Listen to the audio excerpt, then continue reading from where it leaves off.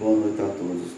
Hoje eu vou dar uma explicação a vocês sobre o rolamento de ar-condicionado de carro, que se desgasta muito, se acaba muito rápido.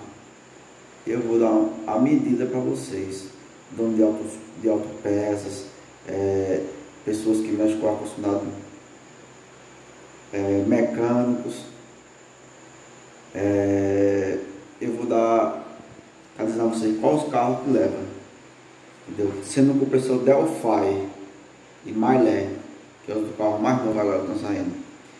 É, do, do Celta 2005 e diante, do Corsa Classic 2005 e diante, do Gol G5 é, 2000, 2008 e diante, do Golf 2006, 2007 e diante, todos esses levos levam o rolamento que vou dizer a você agora, que é a medida do rolamento é 35 milímetros interno, externo é 50 milímetros e de lateral é 20 milímetros.